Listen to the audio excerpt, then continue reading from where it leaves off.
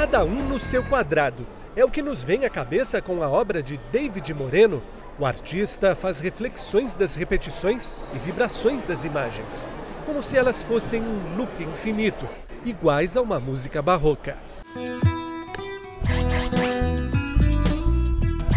E vamos andando até o espaço da artista Sheila Hicks. A norte-americana reside na França e rejeita as tradicionais fronteiras encontradas na arte. A textura do trabalho dela são as linhas, que se transformam em bordados, rolos e peças. A arte toda carioca é do brasileiro Alexandre Cunha, que vive em Londres.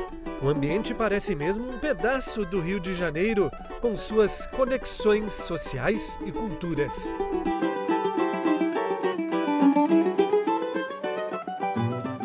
Este espaço é a sensação da Bienal.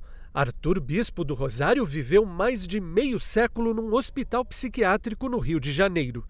Para suportar aquela realidade, utilizou o lixo e todos os materiais possíveis para criar as suas obras. O trabalho dele é referência na arte contemporânea.